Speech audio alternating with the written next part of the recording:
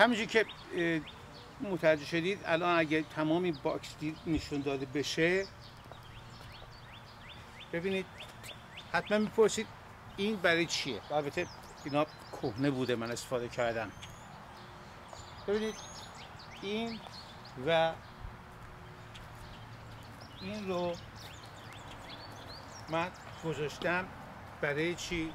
اگر شبی قرار شد یخبندون باشه. تگرگ چیزی بیاد به همین راحتی این مشما رو قرار نیستش پهلوها بسته بشه.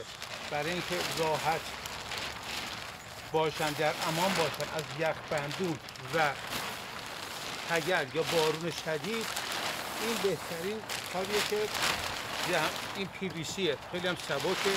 احتیاج به کشیدن وزن سنگین نداره. نصبش هم الان بهتون میگم چجوریه. این پلاستیک رو به این حالت روی اینا میندازیم. این اینجا و اینم اینجا. ببینید این مال زمانیه که قراره یک دفعه هوا جریان تغییر پیدا بکنه. این پلاستیک رو اینجوری می‌کنیم. بعد اینجا رو می‌تونید یک کلیپس بزنیم راحت نگه داره. این محافظت می‌کنه از تگرگ بارون شدید. یادمون باشه موقعی که نهال جدیده بارون شدید خیلی سیلاسا داغونش می‌کنه. می‌زنه تو سر نهال در واقع نشا اینا نشان الان. میشکونتشون. پس این برای یک چنین مواقعیه. حالا این پلاستیک که بذارم کنار من پس این شد برای محافظت از بارون. یه پی وی سی رو به این حالت. خیلی ساده است. ببینید آه. یه میخ اینجا می‌زنیم یه میخ اینجا می‌زنیم یه سوراخ اینجا می‌کنیم یه سوراخ اینجا. موقعی که لازم داریم به همین راحتی. میندازیم روی سوراخ رو تموم شد رفت. موقعی هم که لازمش نداریم بریم میذاریمش کنار. خب الان اینو لازم نداریم. خب این یکی هم که دیگه لازم نداریم. این, این یکی هم به این شکلی که ببینید می‌تونید اگر نمی‌خوایم ورده بزنیم ورور یه میخه ثابت اون بزنید. به حالت لولا این هم می‌تونید به چرخونیم بذاریم کنار. مواقعی که نیستیم. اینم از و اما حتما می‌پرسید این برای چیه؟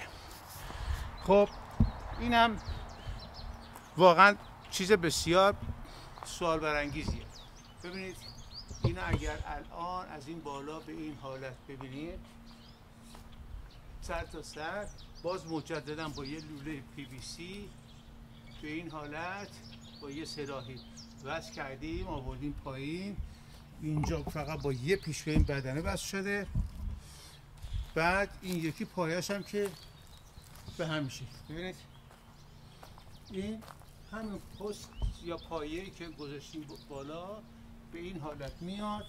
اینجا یک دونه فقط بست اینجا می‌زنیم که به مشکل بر نخوره. خب حالا این برای چیه؟ اینم خیلی از عزیزان و دوستان با من تماس می‌گیرن و شکایت می‌کنن از اینکه پرنده ها گوجه فرنگی رو آسیب می‌زنن. خب اینم راه مبارزه با پرنده هاست پرنده ها رو ما نمی‌تونیم از باغاتمون دور بکنیم. به خاطر چهار تا دونه خیار گوجه ما حق نداریم که پرنده ها رو آزار بدیم چون طبیعت مال اوناست. ما ایم که متجاوزینیم به طبیعت اینها. ما به زندگی اینا اومدیم. این مناطقی که الان من شما خونه ساختیم مناطقیه که مال اینا هستش. متعلق به حیوانات بوده. حالا ما اومدیم هی قدم به قدم. عین اروپایی های وحشی که اومدن آمریکا رو از دست سرخپوستا قدم به قدم گرفتن و بیچاره ها رو نابودشون کردن که الان ازشون اثری هم نیست. این تور در آمریکا و در اروپا به این تور میگن برد برد یعنی پرنده برد نت. ببینید سوراخش باید اینقدر گشاد باشه. به چه دلیل؟ به این دلیل که از توش زنبور عبور بکنه. یادمون باشه اینا از همون بالا از روی اون پست من آویزون می‌کنم. دور تا دور میاد تمام این فضا رو میبنده. دو سه تا سنگ رو چیز می‌ذاریم این برابرش اینم که پس شد بردنتمون برای محافظت از حجوم پرنده ها به این باکس سیفیجاتمون خب حالا در اینجا توی این فضا ما میخواییم خیار بکاریم. اینا خیاره اینا گوجه فرنگیه و اینا فلفل. این فضا کافیه برای یک چنین چیزی. ما می‌تونیم لابلای اینو فلفل هم بکاریم. اگه دس... ببخشید سیرم بکاریم. لابلای اینا ما می‌تونیم پیاز هم بکاریم که پیاز چه برداریم لابلای ردیف ها حالا ببینید الان سعی می‌کنیم به این نچسبونیم. گیاهمون رو.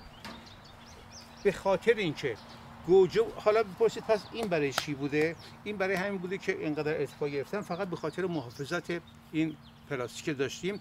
حالا اگر موقعی که گوجه و خیارامون رشد می‌کنه بغل این می‌تونیم یه تناب ببندیم سر تا سر دور تا دور. بعد این بوته های گیاهمون رو گوجه فرنگی و خیارا رو بخوابون روی که اینجوری سرریز بشه پایین و زیبا در این حال که زیباست خوبم رشد می‌کنه. خب شروع می‌کنیم از خیارها. بسم الله الرحمن الرحیم. ببینید برای هر یک دونش رو اول تعدادش رو میشوریم. یک دو سه چهار پنج شیش هفت هشت نو ده. خب ما باید ده تا جا داشته باشیم. یک دو سه چهار پنج شیش هفت هشت نو ده. خب پس مشخص شد که این ردیف ما می‌تونیم با ده تا از اینا شروع بکنیم. از این ته شروع می‌کنم که دونه دونه اونا رو بیارم ببین خاک این خاک رو چند روز گذاشتم موند بارون حسابی خورد. یه خود بارون چون وقفه داشت من خودم یه آبیاری کردم با آب پاش. الان دیگه خاک کاملا دیگه نشستش کرده و خاک سیفیجات یادمون باشه باید این شکلی بشه ببینید خاکی که رس باشه بچسبه به زمین هیچ فایده نداره. اینجا رو دستکش من چجوری شد؟ مثلا دستکش دارم. حالا درش میرم مهم نیست. یه دستکش دیگه میشه بعد ارزم به حضور شما این رو که باز کردیم نشار رو میاریم اینجا. یادمونم باشه نشار یه کوچولو خاکش رو اینجوری بتره کنیم. فشار ندیم بشکنیم میشه فقط خاک رو بتره کنیم. نشار رو می‌ذاریم اینجا. سطح خاک باید با گلدونی که نشار رو توش کاشته بودیم هم سطح بشه. دورش رو با احتیاط پر می‌کنیم. موقعی هم که میکاریم سعی کنیم که دقیق و ایستاده بکاریمش خب این شد یکیش. باز می‌کنیم. خاک وقتی نرم باشه به راحتی میشه جابجاش با احتیاط برای اینکه ریشه ها داغون نشه فقط به ریشه ها رو یه کوچولو باز می‌کنیم که ریشه سریع حرکت بکنه. مجدد. هر کدوم این بوته ها یک وجب فاصله بینشون باشه. بسیار عالیه. اینم زیاد به بغل نمیچسبونیم. اینم باز یک وجب حداقل فاصله داشته باشه. اینا رو این خیارها رو دونه دونه پس ما توی این مسیر میکاریم. من یه خود سرعت میدم به کارم که ویدیو کمتر گرفته بشه. وقت شما رو زیاد نگیرم. در ضمن تا یادم نرفته لطف کنید برای من توی اینستاگرام فقط پیغام بفرستید و یوتیوب. در واتساپ در تلگرام من جواب کسی رو نمیدم. به این دلیل جواب کسی رو نمیدم. سوالایی که می‌کنید به یک باره 100 نفر 50 نفر 200 نفر میان توی این پیغام های خصوصی تلگرام و اینستاگرام. صد تاشون هم یه شکل سوال دارن. من ناچارم به هر صد نفر صد تا سوال جواب بدم. جاییم اثری نمی‌کنه. یک دو سه چهار پنج. پس بنابراین از این به بعد تصمیم گرفتم برای اینکه دیگران همه عموم از سوالا که مطرح میشه و جوابایی که داده میشه نتیجه بگیریم همه با هم هم من هم شماها تصمیم گرفتم از این به بعد من حتی در اینستاگرام به پیغام های خصوصیتون جواب نمیدم. چون اینجوری اولا من روزی حداقل 300 400 تا پیغام دارم و این 300 400 تا پیغام رو من شبا تا صبح باید بشینم جواب بدم. در صورت که این 300 400 تا سوال همش اگه جمع بکنیم به 20 تا 15 تا نمی‌رسه. منم برای وقت ندارم گرفتاری زیاده. پس بنابراین از من دلخور نشه کسی. فقط در اینستاگرام در قسمت پابلیکش زیر ویدیوها جوابتون میدم و در یوتیوب. و سلام شد تمام. جای دیگه من به کسی جواب نمیدم. از همینجا رسما اعلام می‌کنم که در جریان باشید عزیزای من. خب اینم شد. آخریش. میتره کنیمش فقط حالت باز شدن. خب این شد پس ردیف خیارکاری ما. ببینید ردیف کاری می‌کنیم. حالا اینو ما می‌تونیم اگر مثل من شما تنبل بودید می‌تونید از شیلنگایی که آبیاری قطره ای داره لابلای اینا بچرخونید تایمر بذارید. بذارید دنبال کارتون برید تا این شروع کنه به آبیاری خودش. خب حالا برمیگردیم به اون طرف. می‌رسیم به گوجه فرنگی. به گوجه فرنگی می‌رسیم.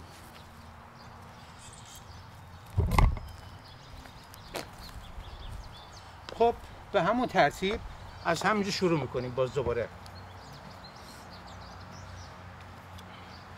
باز دوباره اینا رو با حوصله اصلا عجله کار نیست. به این حالت فضای ریشه رو ن... یه کوچولو ببین فقط یه کوچولو. نرم بکنیم. بذاریم اینجا. خاک رو روش بغلطونیم بوتر سعی کنید از همین اولی که میکارین ساب بکارید. به قول مثال ایرانی هست میگن خشت اول گرد نهد معمار کج تا میره و دیوار کج. اگر بوتر کج بکارید خود به خود کج عمل میاد و همون کج عمل اومدنش باعث میشه که بوته به حالت خوابیده باشه یا مزاحم بوتهای دیگه بشه یا کلا بشکنه از کمر.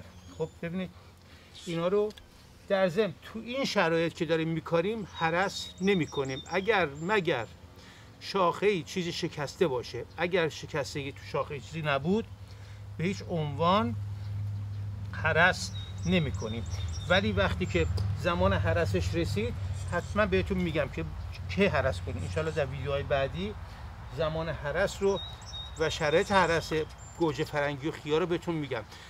گوجه فرنگی و خیار هم حرس می‌خوان. اگر حرس نکنیم میوه کمتری بهمون میده. وقتی که حرس بکنیم از علف ها بوته ها برگ های اضافی حذف می‌کنیم و باعث میشیم که چی؟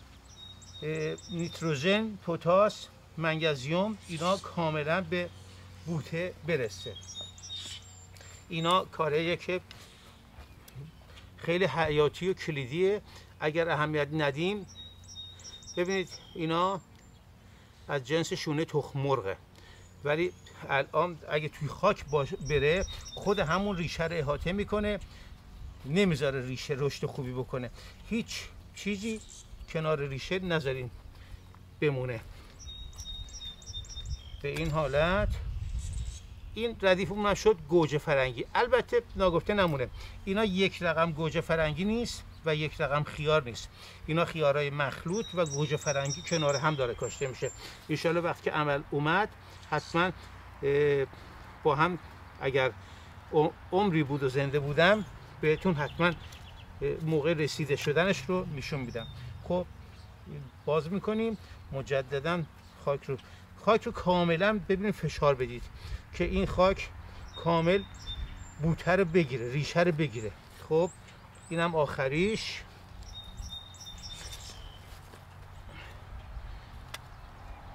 مجدد. خیلی خوب. این تا اینجای کار. یه خورده بازش می‌کنیم. میریم اینجا. خاک رو برمیگردیم. خاک باید نرم باشه. خاک هر چقدر نرمتر باشه ماسه خاک بیشتر باشه خاک نرم زهکشیش بیشتر میشه و آبیاریش هم آسون میشه. خب پس شد یه ردیف کامل گوجه فرنگی. حالا فلفلا. فلفلا چون نمیخوابن به پهلو بغل فلفلا وقتی روش کردن حتما یه دونه پایه میبندیم یک چنین پایه رو شروع می‌کنید بغل هر یه بوته ای الان نه بعدم و با نخی چیزی اینو فروک کردیم خاک که باشه اینجوریه. بوته اینو میبندیم که بوته ها نخوابنیم. پس وسط کلا یه ردیف فلفل کناراش خیار و گوجه. همین کار رو برای هندونه می‌تونید انجام بدین. همین کار رو برای طالبی خربوزه. عرضم به حضور شما کدو بادمجون. برای اینا انجام میده خب اینم مرکزش. دقیقا همون ردیف. این کار رو فل... برای فلفل ها. خب. حتما حتما باید یه کوچولو فقط. ببینید یه کوچولو اینا رو وا می‌کنیم یه ذره. شدید نه. فلفل و این فلفل هم باز دوباره فلفل شیرین و فلفل تون مخلوطه همه چی رو سعی کنید. البته اونایی که می‌خوان بفروشن داستانش فرق می‌کنه ولی اونایی که هابیشونه می‌خوان لذت ببرن از کشت سیفیجات سعی کنید از یک جنس نکارید. البته ناگفته نمونه حتی اونایی هم که می‌خوان تجارت بکنن و بفروشن اونا هم عاقلانه است که هر نوع درخت میوه اینا هم جز درختان بوته های میوه هستش دیگه. هر بوته ای رو هر درختی رو که میکارید از یک جنس سعی کنید نکارید. سعی کنید جنس های متفاوت بغل هم بغل هم بکارید که این کار باعث بشه که گردافشانی به شکل منظم انجام بشه. ممکن از یک جنس با همدیگه گردافشانی منظمی نداشته باشن. بعدش هم ناگفته نمونه تا یادم نرفته. وقتی که می‌خواهید این گلدون ها رو بکارید این بوتای خیار گوجه و فلفل اینا رو 48 ساعت قبلش یا 36 ساعت قبلش یا 30 ساعت قبلش آبیاری بکنید کامل. بعد دیگه آبیاری قطع کنید. چون اگه آبیاری تازه شده بود دیشب یا چند ساعت قبل این می‌شد گل تمام ریشه ها میریخت به هم. وقتی اینجوری باشه راحت میشه جابجاش کرد. ببینید اینا رو حتما خاکو باید یه تکونی بهش بدیم. بعد یادمونم نره الان فقط الان بعد کاشون هوا ابری انشالله مثل که می‌خواد بباره. یه آب خیلی خیلی خیلی ملایم بهش میدیم. که دیهایدریت نشه. اینو که الان کاشتیم به این شکل. اگه بهش آب به موقع نرسه دیهایدریت میشه. حیفه گیاه همون ممکنه بر اثر گرما زدگی تلف بشه. پس به خاطر همین سعی می‌کنیم که الان بعد اینکه یه آبیاری کوچک کردیم این سه نوع جنس رو این سه نوع سیفیجات رو که بغل هم ما میکاریم آبیاریشون کاملا یکیه. یعنی خیار و فلفل و گوجه فرنگی حتی طالبی و هندوانم به این شکل میشه بغل اینا کاش که آب زیادتری اینا میطلبن ببینید اینا رو به این حالت کاملا با احتیاط کاملا با حوصله. این آخریش هم اینجاست. اینم اینجا جاش میدیم. آها. خیلی خوب. یه اینجا اضافه آوردیم. او یه دارم. بالاخره یه جا جاسازش می‌کنیم فکر می‌کنم این قسمت چون آفتاب روی بیشتری داره میگریمش همینجا میکاریمش. این هم اینجا. سرم گرم حرف زدن شد تعداد فراموش کردم ببخشید. خب اینم از این بوته آخر فلفلمون فلفل تند و فلفل شیرین. خب اینم از اینجا. پس اگه دقت بکنید این شد ردیف کاری این ردیف کاری رو حتما چه در کار کشاورزی صنعتیمون چه در کار خصوصیمون رعایت بکنیم. رعایت ردیف کاری بسیار بسیار مهمه. پس دو تا اصل رو ما رعایت می‌کنیم. برای بارندگی پی بی سی ها رو اینا میندازیم. رو می‌کشیم روش.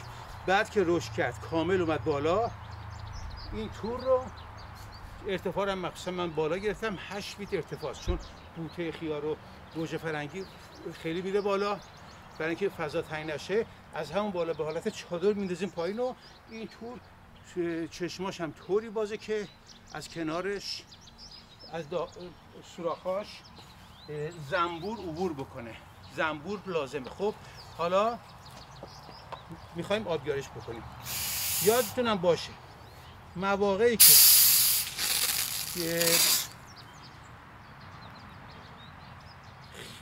گیاهاتون رو می‌خواید آبیاری کنید اگر در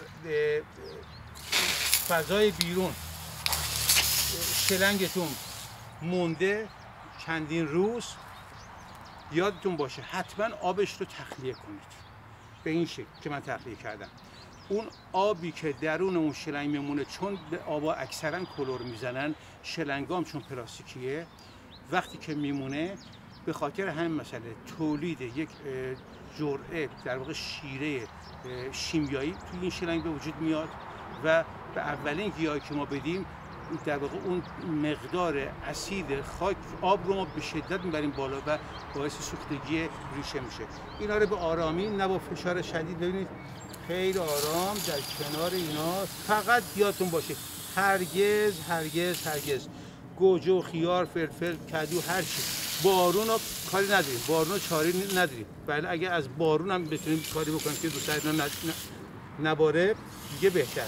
ولی هرگز موقعی که دارید آبیاری می‌کنید روی سر گوجه و خیاراتون آب نپاشید. فقط کنار ریشه.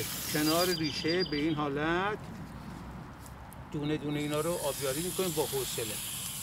فقط با حوصله. بعدش هم فقط به فقط پای ریشه ها رو آب بدید. و ندارید کلی خاک آب بدید. هیچ نیاز نیست که شما بخواید کلی این آب گلدون که ساختید رو یا باخشتون که کاشتید. اون حالت میشه قرقابی دیگه. ما اگه قرار باشه پر بکنیم این گلدون رو پر از آب. اولا که توی فضاهای خالی که موجود هستش علف هرز دوش میشه. دوما آب آب زیادی مصرف میشه.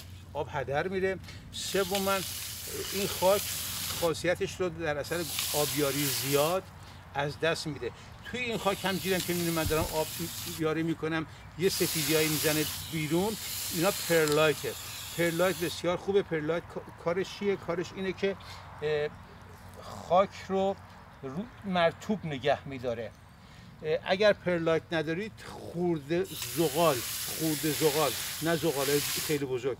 خرده زغال بریزید پاش به جای perlite همون خرده زغال مأموریت perlite رو انجام میده. حتما لزوم نیست که شما بخواید برید perlite بخرید. بعدش هم در این شرایط وقتی که بوتر کاشتیم تو این لحظه تو این شرایط به اینها هیچ نوع مواد شیمیایی حتی کود حیوانی الان نمیدیم. کود حیوانی رو امسال به امید خدا وقتی که محصول اون رو برداشت کردیم تموم شد آخر فصل پاییز و می‌دادیم کود حیوانی بهش میدیم که این خاک مغذی بشه تا بهار آینده. الان اگه من قرار بود کود حیوانی به این خاک بدم هم بوی بد تولید می‌کنه همین که به خاطر تابش خورشید عرض کردم دیهایدریت میشن گیاهانمون میسوزن. در واقع نیتروژن خاک رو می‌بره بالا و عامل سوختگی میشه. سرتون زیادی درد آوردم. بازم تاکید می‌کنم. لطفا فقط یوتیوب و اینستاگرام. اونم تو قسمت پابلیکش. من به پیغام های خصوصی هیچ کسی جواب نخواهم داد. فقط به خاطر خود شما دوستتون دارم. دست به دست بدیم. طبیعت رو حفظ بکنیم. بهتر از طبیعت خوب و سالم هیچ ثروتی به درد ما نمی‌خوره. این کرونا درس بزرگی رو به بشریت داد اگر بشر حالیش بشه. فهمیدیم که ثروتمندا با ماشین های آخرین مدلشون و با هواپیمای اختصاصیشون و با خونه های ساحلیشون نشستن توی خونه ها زندانی هیچ کاری از دستشون بر نمیاد. فقیران مثل اونا. الان در واقع 8 میلیارد کره زمین فقیر داره. ثروتمندی توش وجود نداره. چرا؟ چون در مقابل خداوند همه ما فقیریم و ضعیفیم و ذلیلیم. دوستتون دارم. خدا یار و نگهدار شما.